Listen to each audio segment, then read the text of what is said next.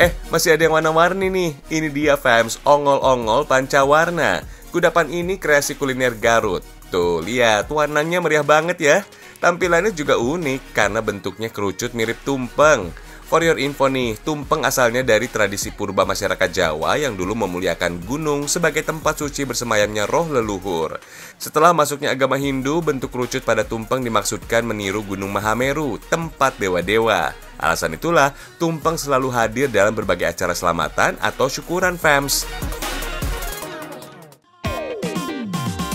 Tumpeng berasal dari sebuah akronim dari kalimat yen metu kudu mempeng. Artinya, ketika keluar harus bersungguh-sungguh semangat.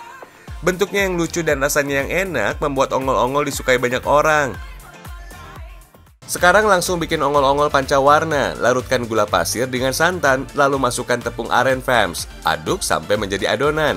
Masukkan pelan-pelan ya, biar nggak berantakan.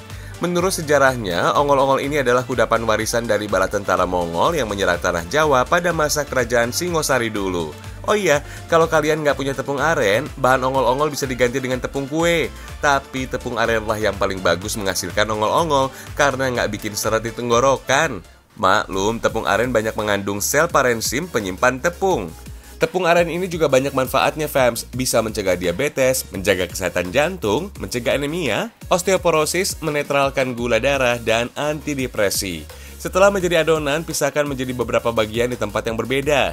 Gunanya untuk ngasih warna yang berbeda tiap bagian. Jadinya biar warna-warni alias pancawarna. Meski pakai pewarna, aman dikonsumsi kok.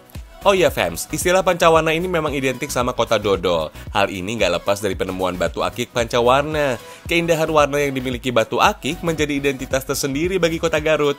Kalau sudah rata, ongol-ongol dimasak dengan api sedang. Tujuannya sih supaya matangnya rata. Ketika dimasak, adonan juga harus langsung diaduk fams, biar nggak gosong.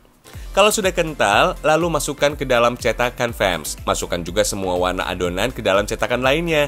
Lalu diamkan sekitar 30 menit agar teksturnya kenyal.